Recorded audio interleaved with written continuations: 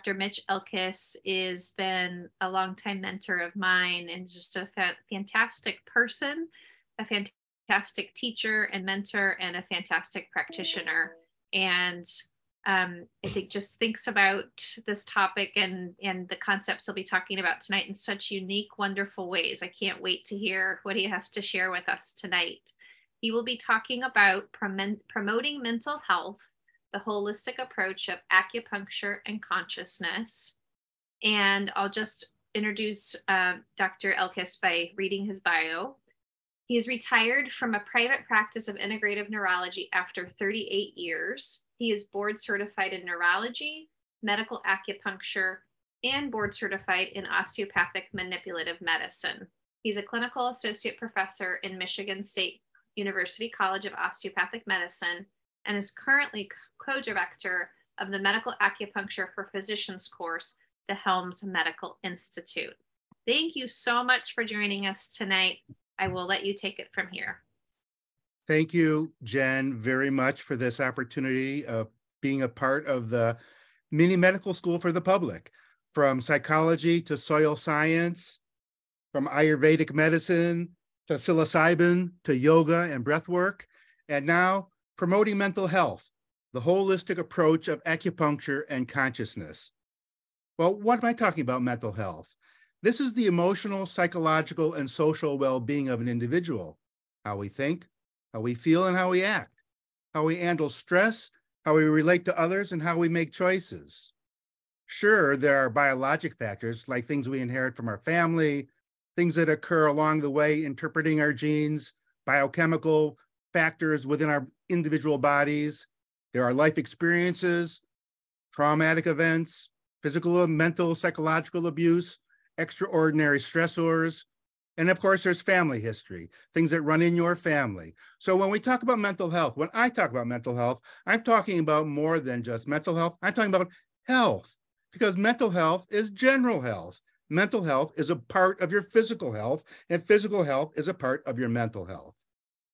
This quote is from Sally Rosenberg, my wife. She taught me, she's a psychiatrist, she taught me that patients many times must learn or be taught how to constructively seek and receive help, to receive support, to receive help, and to receive attention.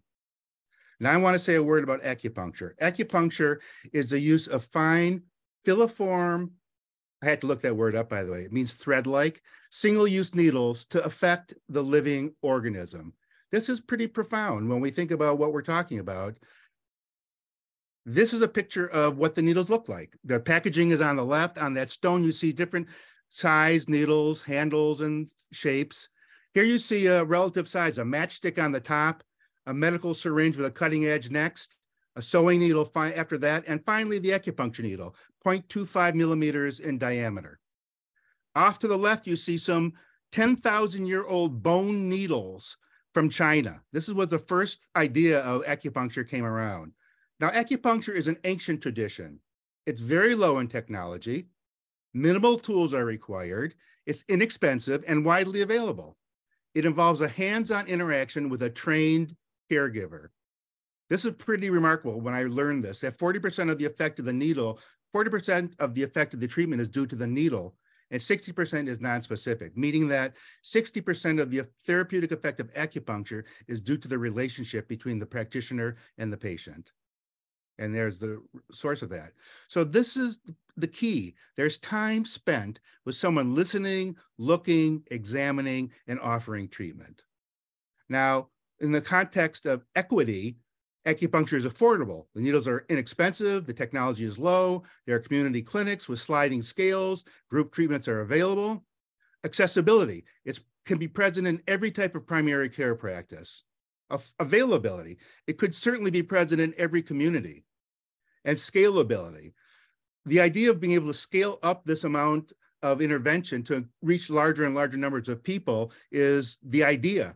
Group treatment, treatment from physicians, DOs or MDs, and the training they get is through the AAMA and certification through the ABMA through physician alternatives, licensed acupuncturists, oriental medical doctors, nurse practitioners, advanced nurse practitioners, physician assistants, and they get their certification from the NCCAOM. And when you're looking for practitioners, look for certification from the ABMA and the NCCAOM. The goal of acupuncture is to restore and maintain system-wide dynamic balance. Pretty straightforward, pretty simple in words, pretty powerful in context. It's prevention oriented. Matter of fact, the thing that attracted me to acupuncture was when I first learned in 1972 that it's the superior physician that prevents diseases, that treats the patient before their diseases are ever shown up at all, when they're just imbalances in the system. So it's prevention oriented. There's a home treatment component to it. Once you've done the treatment in your office, there's home exercise that's given to the patient, home massage, channel massage, heat application, beads and seeds and magnets that can be used at home. And there's a fair amount of education regarding therapeutic diet, therapeutic activity, therapeutic sleep and rest, and of course, mental health. Now, acupuncture for mental health, as I reviewed some of the literature, for anxiety, there's a systematic review of acupuncture and electroacupuncture for anxiety. These are, these are big studies that I'm now refer, referencing. For depression, a large systematic review and meta-analysis. For stress, another systematic review and meta-analysis. And all of these showed effectiveness of acupuncture on anxiety disorder, on depression disorder, and that is the bottom line. Acupuncture can be used successfully for mental health. Now, what is acupuncture? Acupuncture points are these high conducting, low resistance points. They have low palpatory resistance. They're soft little hollows and clefts along the major structures. They occur along the planes, along the tendons, near the nerves and arteries and veins. And they're in the loose tissue around the important structures. We never put our needles into a bone or into a tendon or into a nerve or an artery. It's always in the loose connective tissue or the fascia around it. Fascia is connective tissue. Now, the acupuncture meridians are in fact defined by the fascial planes between muscles and organs. And the fascial planes exist between and within all tissues. If you were to dip someone in a dissolving solution that took away everything that was fascia and left everything else, you would see a totally intact human being, just missing their compartments. And the fascia begins at the time of the first two cellular organism. There's one cell, becomes two cells, and in between them is a space in between. That's the connecting tissue of those first two cells. And from those first two cells, it keeps going on until you become the whole human being that you are. And the interstitium comes all the way to the surface and represents the meridians. Now, how does manual acupuncture work? Acupuncture by hand. Helene Langevin, the current head of the National Center for Complementary Integrative Health, demonstrated that by rotating the needle, you could deform the loose connective tissue. And you can see this is a, a, picture of loose connective tissue that's been twisted with a needle. And you see it like spaghetti around a fork. And that when you twist the connective tissue, which is mostly collagen, that this results in a fascial deformation signal. This is a signal that something's going on. And that triggers the manual acupuncture effect. Now with electrical acupuncture, it's a little bit different. Electrical acupuncture is conducted along the fascia, what's called the perineural transmission network. So this is the fascia around the nerves. On the right, you see nerve bundles and nerve fibers surrounded by perineurium, loose CT or loose connective tissue, epineurium, dense connective tissue, but it's along the connective tissue planes that electrical acupuncture is conducted. So again, fascia is the mechanism. Manual acupuncture by fascia, electrical acupuncture by fascia.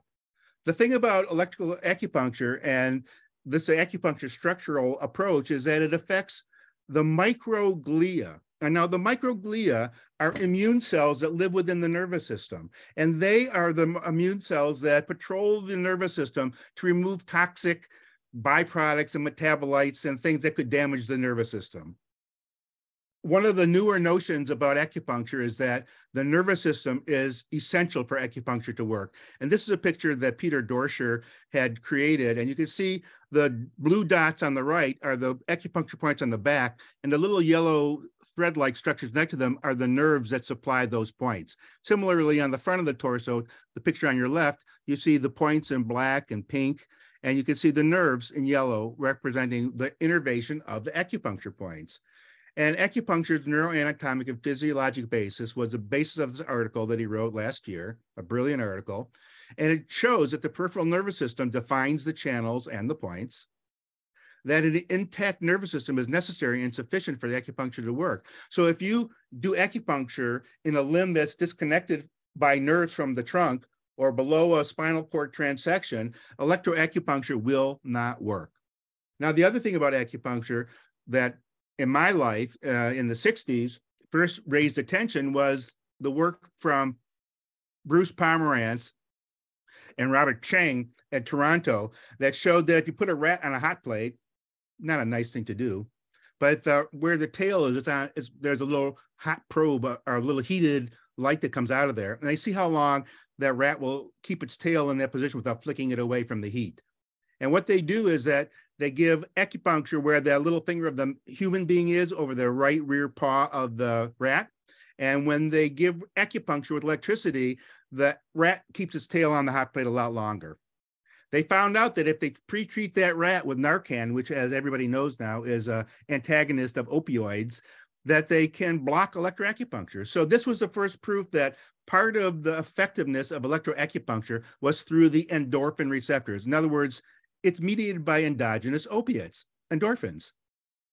The other big neurochemical signature of acupuncture is serotonin.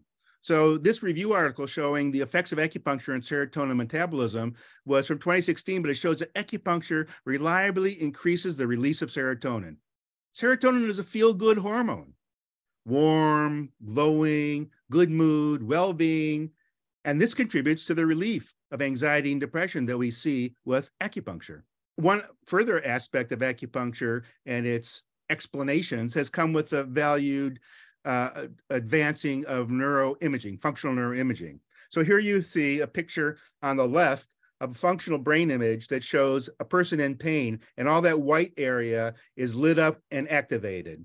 The two middle pictures are after sham acupuncture and real acupuncture. And in both cases, you see that the white signal has gone down in the top part of the brain considerably. And also in the territory right below the the center of the brain where the thalamus is, you can see the thalamic nuclei pointed to by the arrow. The thalamic nuclei go from bright white to not so bright white when you give meridian acupuncture, which is true acupuncture. So this now shows an in a live person, not a dead rat or a sacrificed rat, but in a live person, you can demonstrate in vivo effects of acupuncture while the person's on the table. Now, what about stress? you know, stress is an interesting thing. Just the right amount of it is good. Homeostasis is our body's ability to manage the internal milieu of our internal space, our body chemistry, body acidity, body temperature, body uh, elemental composition. Allostasis is, is externalities that are imposed on the body that force the body to respond. So it turns out that the upside down U is on the vertical axis is performance, on the horizontal axis is stress level. At the far left, with no stress, there's no performance. It's lame, person's inactive and bored. With a little bit of stress, there's some healthy tension and motivation. And peak performance requires a certain amount of stress for peak performance to be focused. After that, however, now there's fatigue and exhaustion and stress overload, burnout and breakdown. So, too much stress is not good. Stress is managed in the human, this is the medical school part, by the sympathetic nervous system. This is through adrenaline that squirts into your blood, the sign of stress. Increases your blood circulation rate, increases your respiration rate, increases your carbohydrate metabolism, prepares your muscles for exertion. At the same time, the hypothalamus triggers a release from your pituitary gland of cortisol, uh, actually ACTH from your pituitary gland, and cortisol from your adrenal glands. That furthers the process of preparing to run or fight. Your pupils dilate, your heart beats faster, your blood pressure goes up, your metabolism accelerates, and a certain amount of anti inflammatory activity is triggered. Now, that's the sympathetic, the fight or the flight. In contradiction to that is the vagal or the parasympathetic. This, instead of speeding the heart, slows the heart. This is rest and digest instead of fight or flight. This moves food through the intestines. This is reg regulated by acetylcholine. Now, on the picture on the right, you see that the vertical axis is the arousal intensity. And with arousal intensity, in the pink zone in the middle, you have fight or flight, which we've discussed. If the arousal is so great that you're afraid of your imminent extinction, the first thing, it's an overwhelming thing, and there's a freezing response. It's a deer in the headlights, the possum playing dead, it's preparation for death, it's a feeling of hopelessness, and it's the vagal nerve, the dorsal vagal nerve that freezes you down. And it's an older vagal representation. A newer evolutionary development of the vagal nerve is the ventral vagal complex. complex. Before it developed, your only choices were to fall faint on the ground, run or fight with anybody that came up to you. But if you wanted to have some kind of social engagement, you needed something more. So the ventral vagal complex developed to take care of the throat and the pharynx and larynx to like do uh, uh, uh, guttural stuff to begin the social engagement. And this allows joyful activity in the present, a curiosity, a, a trying to communicate with other people, a sense of compassion and mindfulness. And it turns out that in this stage of extraordinary stress, that the freezing response comes back. So that people that are totally stressed out sometimes are shut down. And let's talk about this vagus nerve parasympathetic. We monitor vagal activity because most people tend to have too much sympathetic, not enough parasympathetic. So their vagus nerve is not enough. So we monitor heart rate variability as a sign, HRV, as a sign of vagal activity. The higher the heart rate variability, the higher the vagal nerve tone, the better you are. The loss of heart rate variability is an early sign of poor vagal tone, and it can be measured on an EKG. Normally, when you breathe in, the heart beats get closer together, and when you breathe out, the heart beats get farther apart. That's called sinus respiratory sinus arrhythmia. That's normal. When you lose that, that's a sign of losing vagal tone, and you need vagal tone to survive. These are things you can do to bring back your vagal tone. Breathe in at a count of four, Breathe out at a count of eight against resistance. Ujjayi breathing, yogic breathing, sniper breathing, where you breathe in and then you breathe out against resistance as you're steadying and slowing your arch. Gorilla walk, where you stand and let your body hang forward, arms hanging low, so that you increase your intrathoracic pressure. That increases vagal tone as well. Kundalini yoga, putting your face in cold water, all those things. So that stress what about consciousness? Well, according to the dictionary, consciousness is a state of being awake and aware of one's surroundings. A quality or state of being aware, especially something within oneself. The state of being characterized by sensation, emotion, volition, and thought. Or according to Merriam-Webster, the upper level of mental life in which the person is aware as contrasted with unconscious processes. Well, I'm going to present something different than that. I'm going to tell you that consciousness is not a cognitive function. I'm going to tell you that I believe that consciousness is an affective function, an emotional function, and that the content of consciousness is affect, and that you can disrupt this whole conscious activity with a brainstem lesion. So, affect or emotional response, visceral response, is a homeostatic function. The homeostatic deviation creates the arousal, and the allostatic stress produces survival. What's apparently the case is that this affective system is 100 million years old, and psychopathology is the result of emotions remaining imbalanced. So, in the context of a therapeutic relationship, old stuck emotional behaviors can be re-experienced and reconsolidated. And that can occur in a treatment with medical acupuncture, psychotherapy, EMDR, etc. Now, what are instinctual affects? These are things you're born with. Sensory, your ability to taste, touch, smell, sound, feel pain. Homeostatic, the internal milieu that you're paying attention to. Uh, thirst, air, hunger, these are all ma- monitored by enteroreceptors, which are usually the territory of the vagus nerve. And then, of course, there's the emotional, the external milieu. This is old limbic system, old brain, midbrain, brainstem, and cerebellum that trigger this. And I'll go into detail what I'm talking about. But before I do, this came up last week in the discussion of yoga about knowing oneself. And interoception is the sense of oneself. It's the ability to understand your physical signals telling you when you're hungry or full, thirsty or not, hot or cold, scared or calm. Interoception refers to the body's ability to identify and process the internal action of the organs and systems within the body. In other words, to know how you're feeling. So interoceptive awareness is being aware of how you feel. Now here at Osher, UCSF, they have the multidimensional assessment of interoceptive awareness, the MAIA exam, the testing exam, psychometric exam, which is a predictor of outcomes. and emotional regulation capacity. What do I mean by that? Well, emotions are behaviors. There's negative ones, the kind that an animal won't want, won't, if they have an electrode to, causing it in their brain, they won't want to repeat that stimulation. Negative ones are things like fear, anxiety, sadness, separation, anger, rage. Positive things are things that they would keep pressing the stimulation electrode because they like it. Things that are joyful, playful, caring for others, or lusty. These are dopamine driven. They're seeking and searching.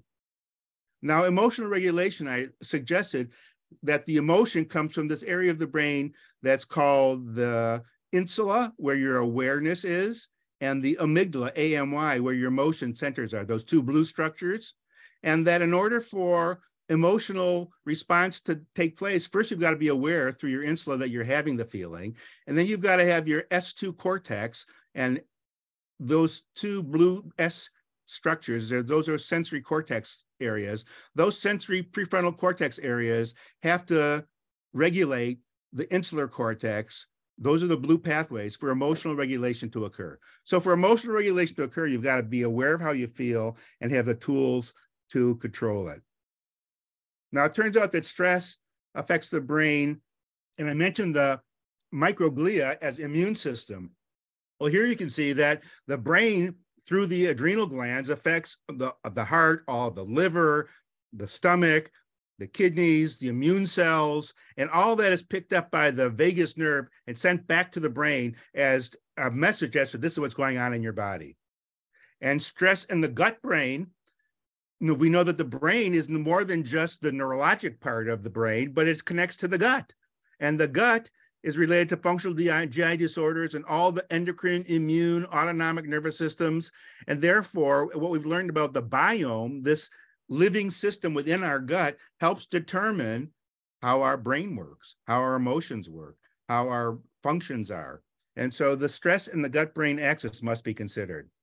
So chronic stress is associated with a functionally imbalanced sympathetic parasympathetic, which is called the autonomic nervous system. Too much sympathetic, not enough parasympathetic.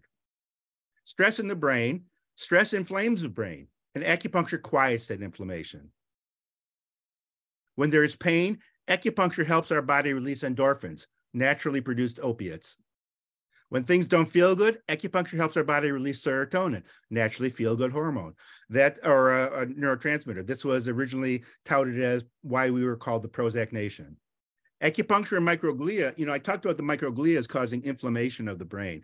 Turns out that this inflammation of the brain seems to underlie most every condition of the brain, all the way from a stress condition to a depression condition to an anxiety condition to a traumatic brain injury condition to a PTSD condition to a, an overloaded stressed out condition to a PTSD type story.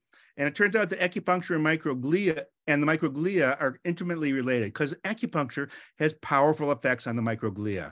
Here's an article about the protective role of acupuncture on spinal cord injury.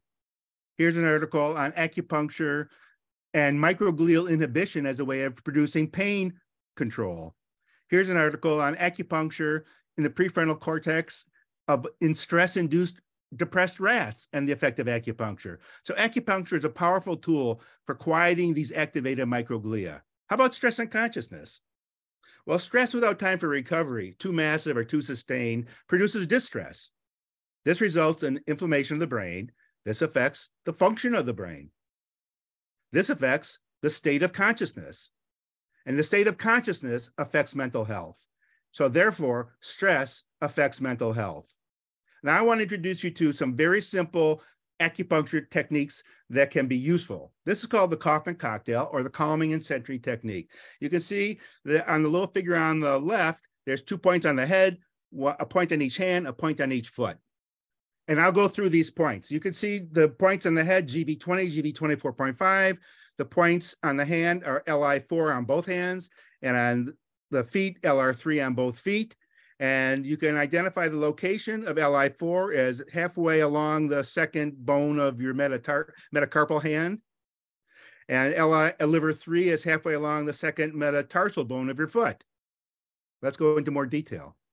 Governor vessel 20 is at the very top of your head. It's the most heavenly point on the body. It's calming. It's used for anything intracranial. If you go from the lobe of the ear through the apex of the ear, it takes you all the way to the midline where governor vessel 20 is. It's where you're where you meet your ancestors according to tradition.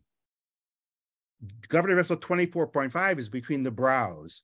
And the brows is the name of this territory is called the glabella. It's in between the brows, interciliary. And if you go straight back, it's at the level of the hypothalamus. And this also is for calming. Now, when you put these two together, GV20, the point on the top, and GV24.5, the point between the eyes, you see where those two arrows target. It's a point deep inside the brain. It targets the hypothalamus, the center of the sympathetic nervous system activation path. So this is a powerful tool for quieting the activation of the sympathetic nervous system. Ha. The points on the hands, LI4, and the points on the feet, liver 3, are homologs. They're in similar places, halfway along the second metacarpal, halfway along the second metatarsal, and they target, you can see on the hand and on the foot, there's a large U-shaped red arterial arcade. This is a big blood, flow zone with lots of sympathetic fibers to control the regional blood flow. And by going in at these points, large intestine flow four and liver three, you target these periarterial sympathetic fibers. And once again, turn down sympathetic tone.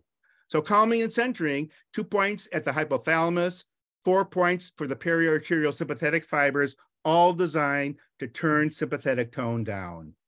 This is a quote from Bob Koffman, who we named, we called the Koffman cocktail after him. We taught him the uh, calming and centric treatment a week before he went off to uh, Afghanistan, Iraq, actually. And he said, just yesterday, I took care of several soldiers involved in a complex IED attack that killed many of their fellow soldiers. Almost all had blown tympanic membranes with pounding headaches and assorted musculoskeletal injuries. They were extremely angry, having been informed about the loss of their friends. With litters of breast, I proceeded to do ear points and my favorite, four gates and the requisite governor vessel cocktail points. GV20, GV24.5. The response was amazing. Zero to one headache pain down from seven or eight. No more shoulder or back pain. More importantly, a more subdued demeanor, which they hadn't experienced since being attacked three days earlier. So this shows you the potency of those simple techniques. Now, in the Society for Acupuncture Research, this is a great source for evidence-based research in the field of acupuncture. Just looking up anxiety, they have these listings, general anxiety disorder, specific phobias, women's health and anxiety disorder, substance use disorder and anxiety disorder. And they find 30 studies concluded that acupuncture using a standardized approach is an effective tool in the management of patients who present with anxiety symptoms that have proven resistant to a number of other routine interventions. And its particularly valued response is seen with body and ear acupuncture. One point I'd like to make is that anything you ever read about the treatment of any mental health disorder is that it's not to be taken care of as a solo practic, practical process, that it requires a setting of integrative care, multiple different kinds of practices, disciplines, and levels of attention and scrutiny that the patient needs for integration of care and services. What's the role of the brain in processing of trauma? Well, one, it remembers. Number two, it can be reconditioned or retrained. So this relates to the importance of pediatric and prenatal care. The polyvagal theory, which says that we related to the fact that the ventral vagus nerve came later and allowed social engagement. This is the work of Stephen Porges.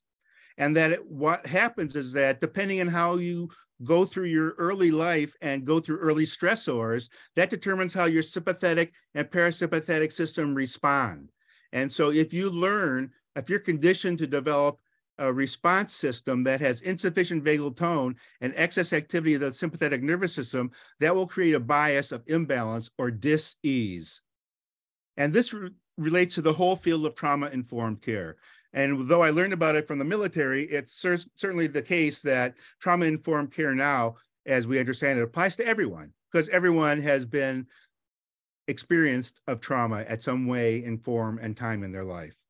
Now, I'd like to spend a few moments talking about the networks of the brain because it used to be thought the brain was like a switchboard. It came in one point, the wire went to the next point, connected it, and so on and so on. But now we know that there's broad structural work that takes place between multiple structures at the same time. Three of the main networks of the brain are called the default mode network off on the left with the red, the salience network in the middle with the yellow, and the central executive network with the blue.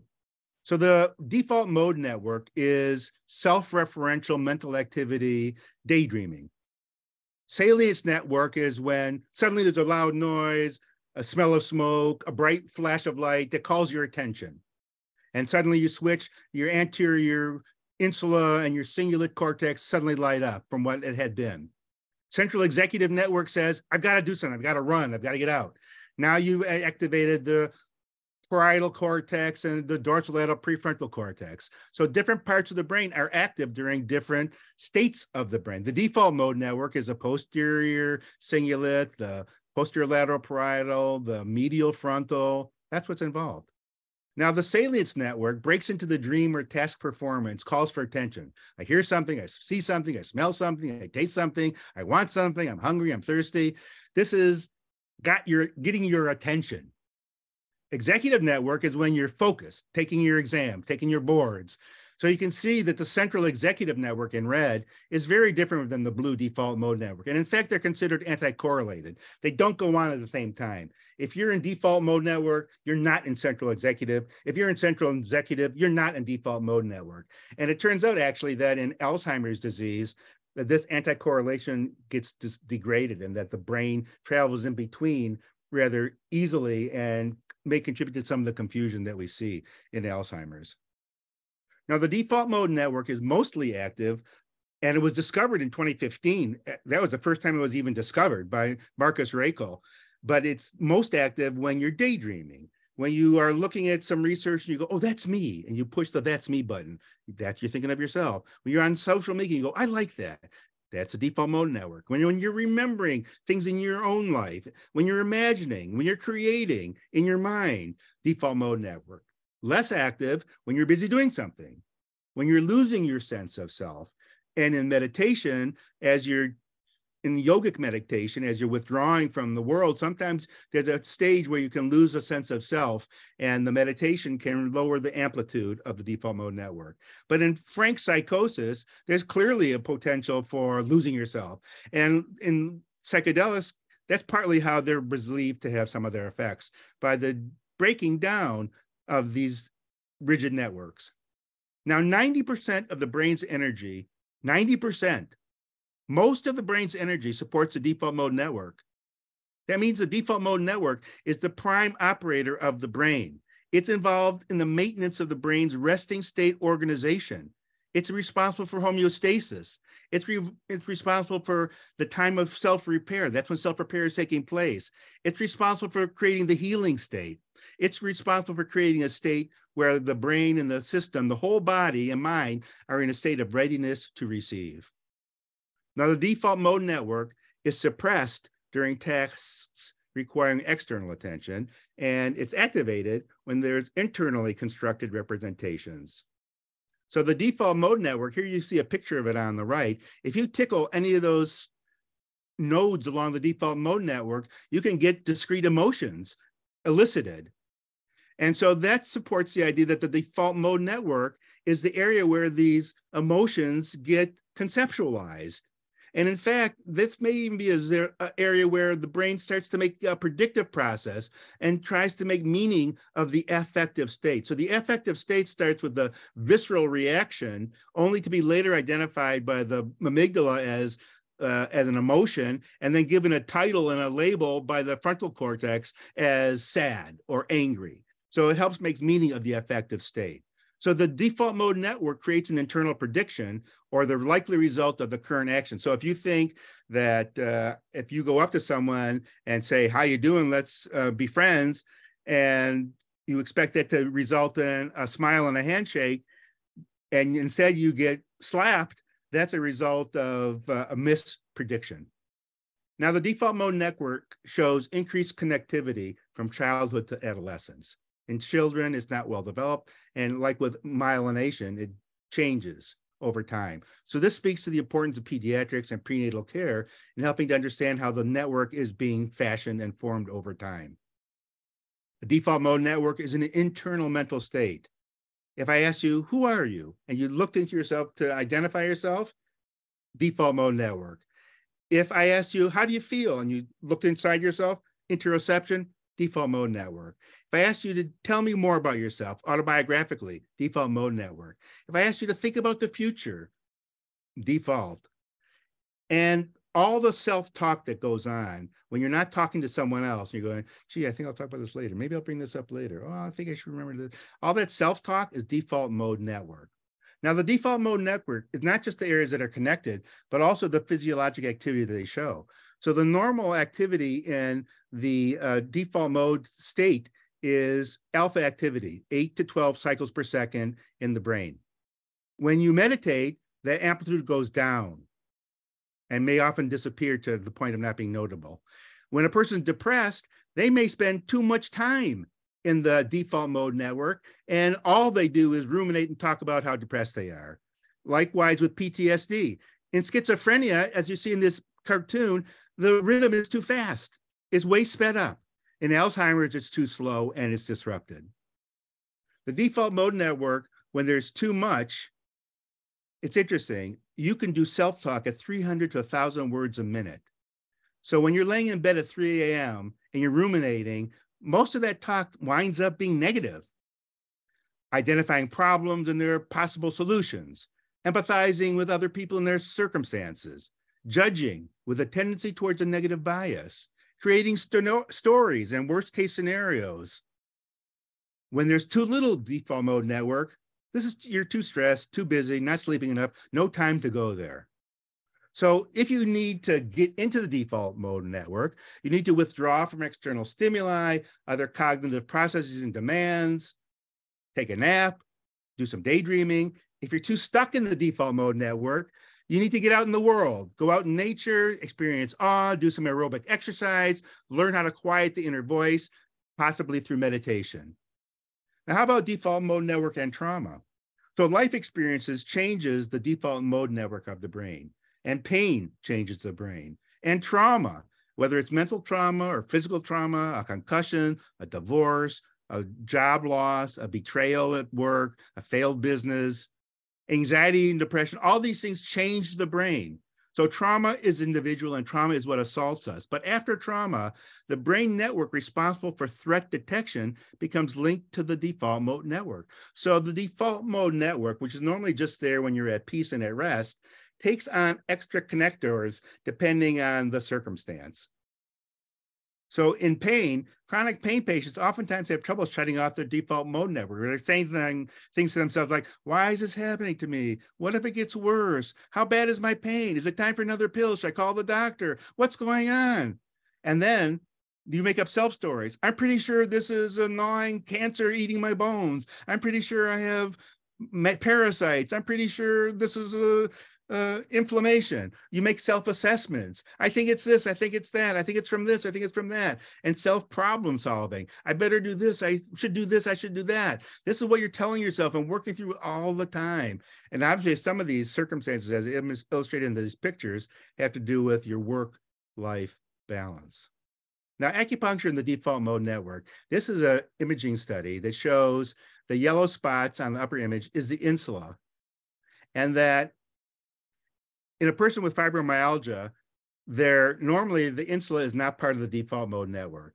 But in people with chronic pain like fibromyalgia, the default mode network is at rest hooked up with the insula, which normally isn't part of it. And then if you give acupuncture that works, that the insular connectivity decreases, and that correlates with the decreased amount of pain. So fibromyalgia patients have higher excitatory transmission in their insula because of glutamate. And that electroacupuncture balances that excess glutamate out by restoring inhibitory transmission, transmission capacity through GABA through that pathway from the somatosensory cortex to the insula. And so when I first read these studies, I walked away with the notion that there's an abnormal linkage of the default mode network with the anterior insula in patients with chronic pain. That's fact. Here's the article below that states it and quotes it and demonstrates it. But what I didn't understand is that what's really happening is that acupuncture doesn't just disconnect the insula from the default mode network, but acupuncture is actually normalizing the default mode network behavior. That in fact, acupuncture works by normalizing default mode network. And in fact, studies by Zhang, Zhang, and Nierhaus uh, show that this was just 2019 shows that acupuncture supports physiologic homeostasis by working through the default mode network. So acupuncture lowers sympathetic tone and raises parasympathetic tone. This normalizes the autonomic nervous system, which provides a normalizing influence on the default mode network. Therefore, the acupuncture normalizes the default mode network. Now, this is one little funny little thing about the default mode network that if you want to get someone to get into the default mode network, if you have them read a book that's about their core beliefs, that that triggers a default mode network. Like if you have someone that's a biblical scholar reading the Bible, that they will get into the default mode network. And it gets to a place where it's morally judging others and critical of others, and it activates the dorsal mode um, the default mode network when not in the idle state. I think that this explains something that happens in politics. That when you read something about your core belief and you start talking in this referential internal conversation about your core beliefs, I believe in this, I believe in this, I believe in this, I believe in this politic, I believe in this politic, that when you have someone talking to you from outside, you can't hear them because all you hear is your internal echo chamber. And that's another aspect of the default mode network when it's not working properly. Now, in order to get around that, you can do what's called non-judgmental default mode training. Turns out that meditation changes the brain and that mindfulness is a form of focused attention. And focused attention, while in the default mode network, is only seen in people that have this kind of mind-based training. So mindfulness can help us suffer less. And here you can see meditating pictures that the activity in the brain changes from the control on the left to the meditator uh, meditation state on the right. So that the alternative state default mode network is non-judgmental while you're in a present awareness. So that in order to be non-pejorative in your thinking, do some mindfulness training, do some meditation training so you're non-judgmental as you are developing your awareness. So when I talk about balancing your default mode network, the way to do it is through positive visual imaging, whether it's guided visual imaging or not, taking a nap, working on self care, nutrition, activity, adequate rest, positive psychology, positive self talk, meditation, exercise. And this type of exercise, and I'm talking now about yoga, Tai Chi, Qigong, where the energetic, the meditative, the breathing quality is part of the exercise, in fact music, singing with others, making new connections, doing fun things, playing a character, all can be valuable for getting you out of your state of the default mode network and into a new state. How to optimize your default mode network. Relax, quiet the outer world, let your thoughts wander, and engage in positive self talk. Learn how to talk positively. I'm getting better every day. My back is feeling better oh, it's not cancer in there. I feel like little guys in there repairing it, building scaffolding to structure up and support my degenerating vertebrae. So you you positive self-talk to counteract the negative. So I'd like to pose this notion that the default mode network is the common element that helps explain expanded consciousness. It helps explain how we find our path to healing it helps explain how we find our path to mental health, and it helps explain the role of acupuncture, all through the default mode network. So my concluding statements are that acupuncture can positively affect mental health. It does this through the default mode network, the body's bodyguard. The default mode network functions poorly when stress levels are elevated, and it functions better after it's been after the patient has been treated with acupuncture. So better function of the default mode network can be restored with acupuncture. A healthy functioning default mode network is associated with better mental health. And a healthy functioning default mode network leads to a consciousness consistent with a path to healing. So I'm going to pause now and thank you for listening and being here tonight and ask any questions. Now, I left out a 10 little minute section on ear acupuncture. And if mm-hmm. there's time later or interest, I'll be glad to talk about it. But for now, I'd be interested if there's questions. I know I've talked about a lot of uh, scientific material and as appropriate for medical school, even though it's a mini medical school, it's time to ask for some questions. Are there any questions? I have, I have a few questions I'll start with. You start.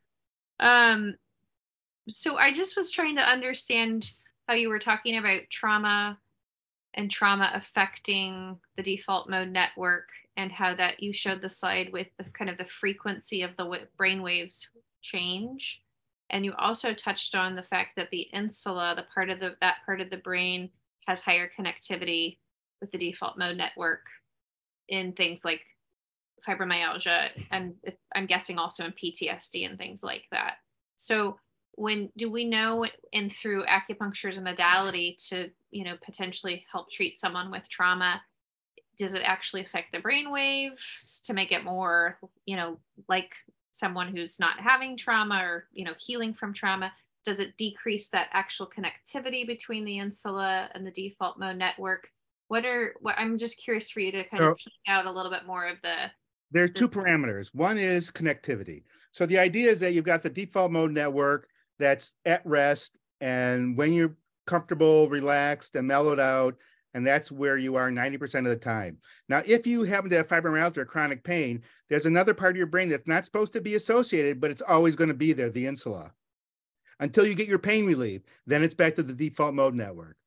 Now, I also showed that the amygdala in people that have had trauma, that they have increased threat detection. So the default mode network clings to the other structures that make it safer and protected. So the amygdala lights up with the default mode network when it's under threat or it's been trained to be under threat. So those are the connective things. And it's definitely been demonstrated that successful acupuncture, not unsuccessful acupuncture. So acupuncture that relieved the pain of the fibromyalgia sufferers was mm-hmm. associated was associated with a decreased connectivity of the insula mm-hmm. to the default mode network. So that's the connectivity part. So yes, the connectivity is altered in the favorable direction by acupuncture. Number two, what about the frequency? So this is more than connectivity. This is the, the rhythm of the brain activity that's taking place in that part of the brain that's in the default mode network. And that acupuncture clearly has an effect on the brainwave activity itself. When you do acupuncture, you induce alpha and theta states. You don't induce delta sleep. You don't induce gamma thinking, beta thinking states. It's a relaxed, mellow state, which is the default mode network, as it turns out, mm-hmm. relaxed and mellow.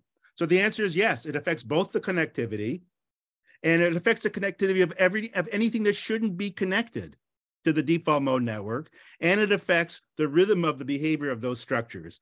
Can you talk a little bit about dosage also? Because I think part of what we're talking about, or what we're talking about, is neuroplasticity, right? So we're talking about consciousness, which I don't think people would say is a neuroplastic phenomena per se, which could maybe be argued. But what we're talking about is kind of this change in neuroplasticity of wiring that's happened, you know, in a way that's not helpful to somebody and so to to change the wiring to have neuroplasticity in a favorable direction you know what what sort of you you gave some examples of acupuncture versus electroacupuncture and i'm curious about that. Seems i would say they both like work. They both the work. dosage difference and then also how you know how frequently are we talking about people getting treatments for for how long in terms of seeing some of these changes? So in my opinion like Bob Koffman's report from Bagram, that people felt relief right away. Right away. So on the table, you feel like your default mode network is being healed. Now, does that heal it? No. But it makes you feel like it has a possibility of being healed because mm-hmm. you feel better in that moment because you've had your sympathetic tone turned down both at the hypothalamic level and in the hand and foot level. Also, we did the ear protocol, which targets the parts of the brain that are most aggravated in extraordinary stress. And those two things together lower the stressor level, change the tone in the room. So the theory is that if you have unmanaged material, it will serve as a nidus for irritability down the road and further problems down the road because it was never dealt with. If you can quiet the event and all of its sturm and drang right at the beginning, then you can prevent it from having its negative associations and long-term implications for the rest of that person's life. Mm-hmm. Now, when it comes to affecting a person globally in a more long-term sense, it's more than just an acupuncture treatment. This is where integrative care comes in. This is why integrative care is what is required because this is all, this is everybody on board. This mm-hmm. requires dietary, this requires physical activity, mental activity, social activity, community activity, cultural activity, as well as acupuncture and all the other things that need to family activities and all these things need to get worked on. So the idea with the polyvagal notion is that because of our world and the way we've been learned, we, the way we learned how to respond, that people have oftentimes learned how to respond to stressors in a way that's and very sympathetic and not very calm and mellow at all and overreactive and self-stressing and traumatizing. Mm-hmm. and that if you can help a person say oh you don't have to react quite like that. You could take some deep breaths. Oh let me help you. Oh no no it's it'll be okay. It'll be okay. We'll get through this together. Uh, instead of saying everything is terrible just say so it'll be okay. Use some positive self-talk. So there are ways of starting at the very earliest stage of helping to uh, observe how a person's default mode ne- network manages stressors because mm-hmm. each person manages it a different way and then helping to secure a therapeutic strategy to modify that along the way. Mm-hmm. but certainly anytime you can see a person at who's been acutely stressed and you can lower their level of stress activation, you can lower the imprinting on their nervous system of that activity. Amazing. Okay, I'm going to one of the questions from our participants. I have heard it's important for the practitioner to practice energy work like Tai Chi or Qigong in order to put Qi or energy into the needles. Can you speak to this? Yeah, I can speak to that. It is important for the practitioner to do energy work because they're recommending it to their patient. So what what kind of a life is it where you say you should do that, but I'm not going to because mm, I don't need to? That's that's like uh, walking the walk. So and and energy work just like it's good for patients is good for practitioners and caregivers too because it helps build their energy up. Now, giving energy to patients is a tricky matter because certainly when you interact with a patient, I, I this is something I learned from my wife. She teaches me a lot.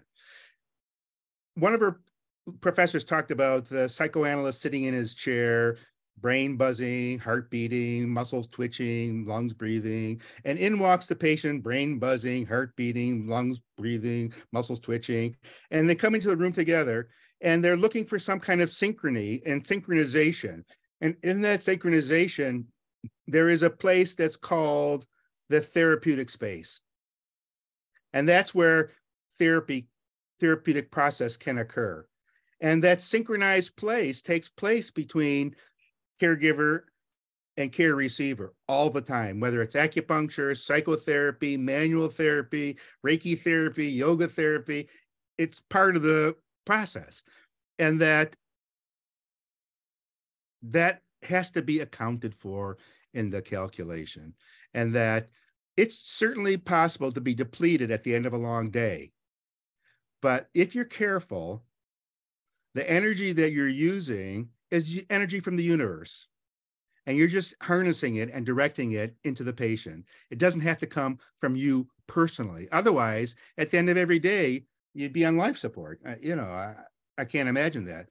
Now, I know that people have different views of this, and I've had professors put aluminum foil around their dantian to prevent vampires from taking their energy, but as a practitioner who would treat, you know, 15, 20 patients a day with serious problems, I didn't have that particular problem. So I think that uh, the idea of the universe as the healing source and us as the conduits is a more comfortable place for me to be rather than me. I am going to be the one that's going to heal you and you're going to get healed by me. First of all, that's a foreign notion. The idea of doctor healing patient, eh, I like the idea of partnerships. I like the idea of we're in this together. We're going to work together for a goal that you've identified, and we're going to work towards this goal. You're going to do a lot of work. I'm going to give you counsel and advice and guidelines and some recommendations. You're going to have to do the work, but it can be done. And I'm going to give you some positive self-talk advice. Maybe I'll do some hypnosis. Maybe I'll give you some yoga breathing. Maybe I'll teach you some Tai Chi. Maybe I'll do some acupuncture on you. It's all part of what we're going to need to build together this program, which we're going to call your life, to help you live a life that is more consistent with what you're hoping for. Wonderful. I, I was wondering if you could speak a little bit more. I remember when I did when I trained with with you in the course, just I was really struck by the um, work that was done for the military folks that were in active duty and veterans. And I know that a lot of the ear auricular auricular therapy that's done is um, you know, it's really wonderful to use with folks that may be on active duty and things because it's so accessible. And I, it, I just, I found it so interesting and so wonderful. And also just, I was so surprised to learn about it. Um, you know, as a person that's not involved with that sort of care, those sorts of patients. And I'm, I'm wondering if you could talk a little bit about that. In uh, 2010, I was at a retreat with the, uh, the senior uh, acupuncture teachers when we got a call from the Department of Defense. General Green said, We need an acupuncture treatment for PTSD. Now, we had just delivered a, a large lecture uh, six months earlier to a military acupuncture program, and I was one of the lecturers. As a neuroscientist in the group, I talked about the neuroscience of uh, PTSD. And so in the group, the leader of the group turned to me and said, "So which points should we use?" And I was like, Whoa. I looked at somebody else. Nobody else was answering me. So I said, "Well, I know this. The hypothalamus is overactive, the, the source of that sympathetic nervous system. The amygdala, the fear zone, overactive. Hippocampus, the memory zone, overactive. The prefrontal cortex, the regulatory zone, underactive. So I made those the first four points. And we added two basic points of Shen Men, the spirit gate, and point zero, the center of the ear.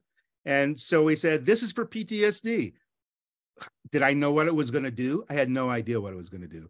And so we did it, we launched it in several venues. We launched it at the Intrepid Center, a concussion center in Afghanistan. We launched it at the Walter Reed uh, uh, Wounded Warriors uh, Intrepid Center, and we did it at Nellis Air Force Base. So we did it out in the field with acute trauma. We did it in Wounded Warrior back in the States for, you know, really seriously wounded people. And we did it in a family medicine clinic over a longitudinal period of time over 10 years at Nellis Air Force Base.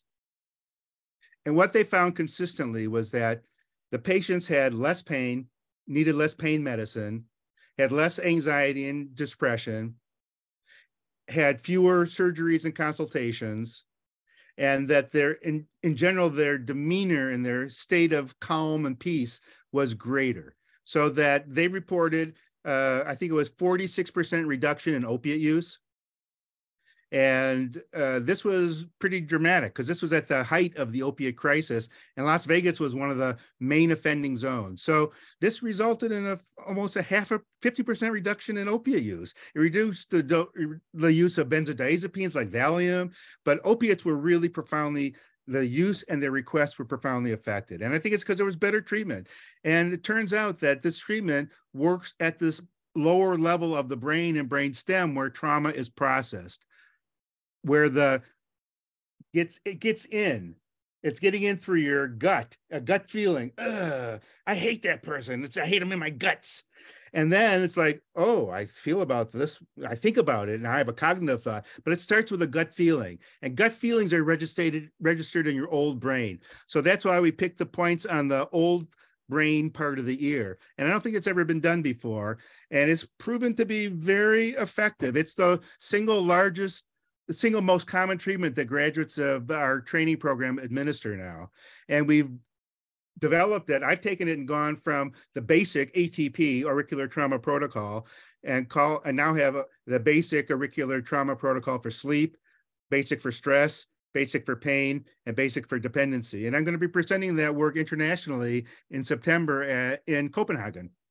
and for the participants that maybe aren't familiar with how the ear is set up in Chinese medicine, you, maybe you have an ear on hand. I do. I do. Being able to show folks that the the ear, the whole body is actually represented on the ear, um, and can be treated. As if you just even Google like ear. So here's a, here's an ear, a plastic ear, and here's the ear lobe, and here's the top of the ear, and the whole body is on the ear. It's like an upside down fetus. Here's the head, and here's the feet up at the top. So the brain is down here. So these red points are brain stem points. These are the ATP points, some of them. And there's another one on the inside. Those are the ATP points on the ear. And so the thing about the ear is that part of the reason it was developed was that it was for the military. It was meant for uh, application downrange. So someone wounded in the field waiting for evacuation with pain or stress or you know freaking out they need to have something done. You're not going to take off their uniform. No but their ear is available. They can keep their boots on. They can keep their other stuff on. Just need the ear.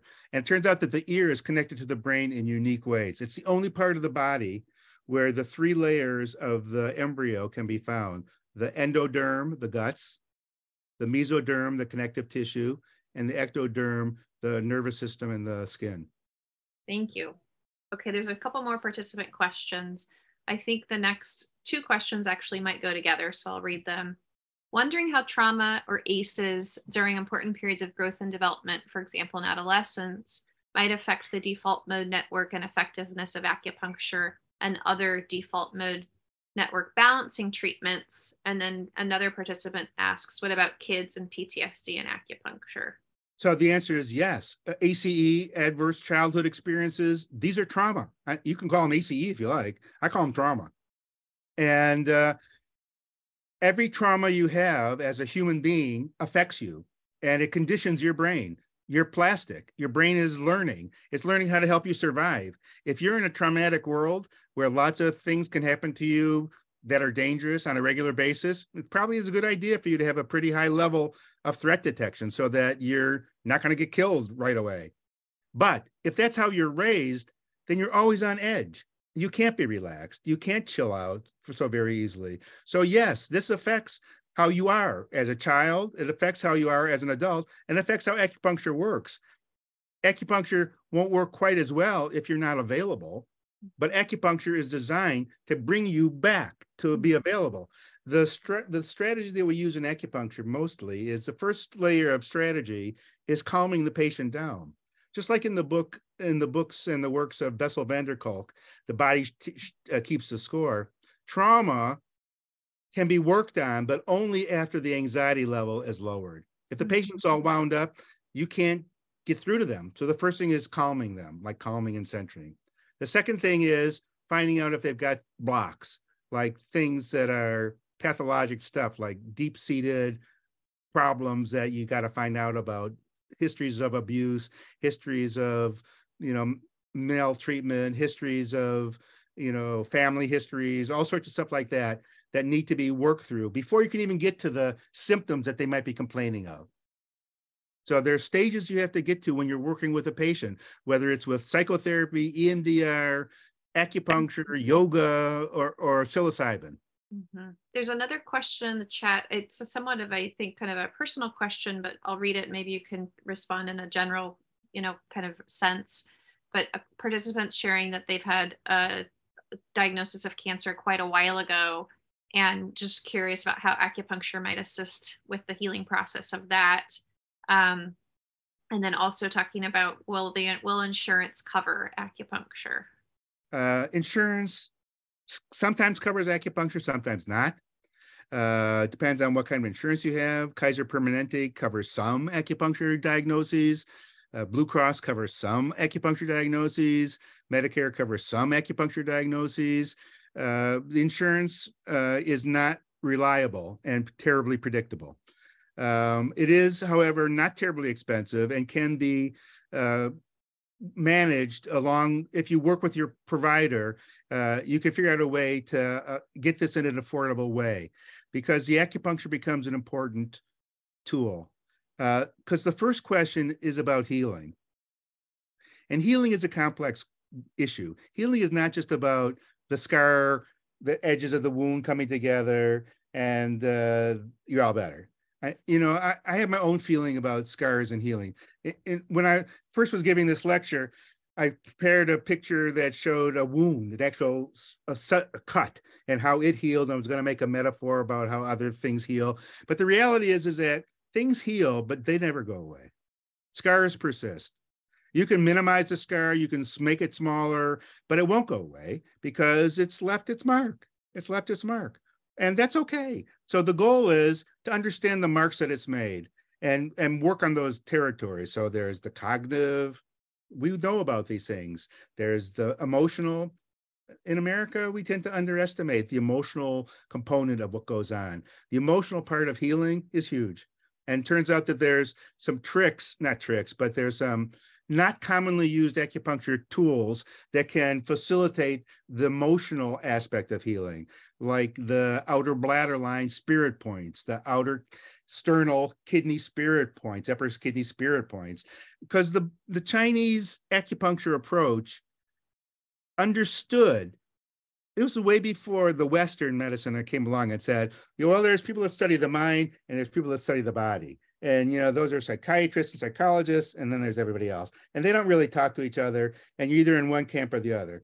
The chinese said well actually they never said that because they didn't think that. Mind and body are the same. If this is me this is looking at me from the mind this is looking at me from the body i'm all just one person with mind and body and spirit and so, no matter how you look at me, I can be seen from different perspectives, but I'm a combination of all those things all the time. And if you're going to treat me with a spiritual technique, it's going to affect my mind and my body. If you're going to affect treat me with a mental technique, it's going to affect my spirit and my body. If you're going to affect me or treat me with a bodily technique, it's going to affect my spirit and my mind. So they're all connected. That's how it works. That's how it's supposed to work. But the issue of scarring, it's okay to remember the wounds that have happened. As long as you don't get stuck, stuck, so that you're just ruminating on, oh, woe is me, my sad life. I had that.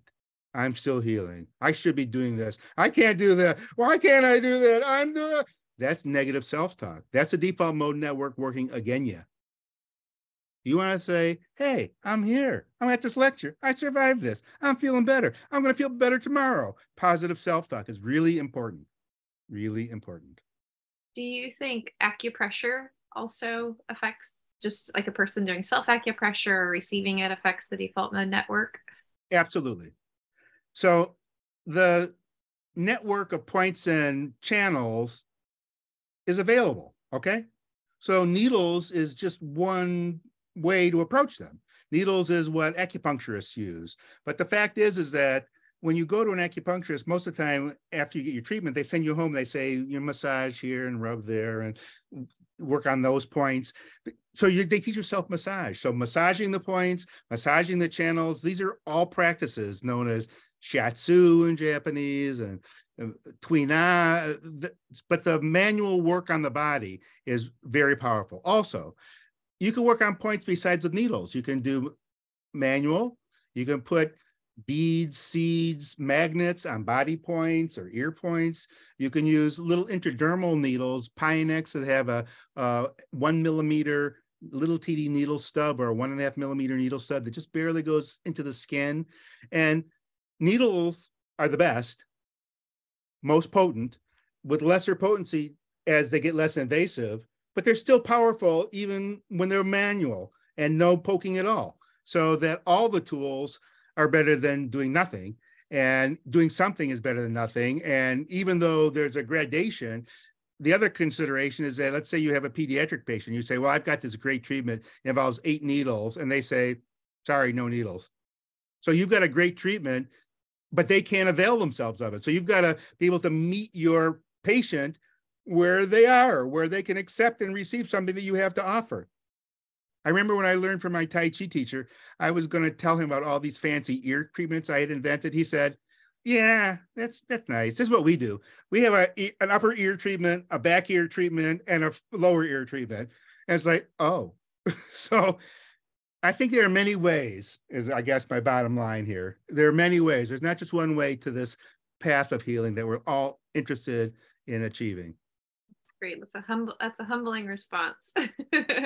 There's another question in the chat. I'll just read off. Is there a correlation? This I love this question. Is there a correlation between the pain felt of acupuncture um, or acupressure points with the effectiveness of healing or improving the default mode network?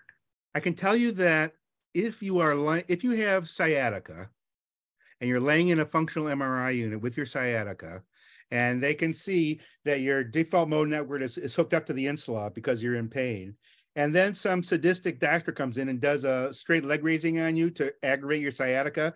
The insula will get even more connected to the default mode network. And as the pain is relieved, it will get less connected. So I'm thinking that the more pain there is, the more potential separation there could be It's definitely the degree of connectivity is definitely a reflection of the intensity of the pain. And in fact, if you want to do insula testing, if you ask a patient in an MRI and say, just imagine you're in pain, their insula will light up. Then if you say to them, imagine it's really bad pain, their insula will light up a lot and get attached to their default mode network in the imaginary state. Yeah, there's a technique that some practitioners use correct that's like finding points that are tender and then saying like yes that's that is called an ashi point and that's where we're going to needle because you're tender there. And in terms of like getting a better quote clinical result or more kind of efficacious treatment. There's been extensive literature in the last couple years to confirm that in fact there's a difference at acupuncture points compared to non-acupuncture points that they have uh, neural properties that they have mast cells that release histamine, so the redness is from histamine, and, and that they are sites of inflammation. There are low levels of inflammation that define where the acupuncture points are. And the other thing is, is that you know you may see an acupuncture point here, and that's where the needle goes in.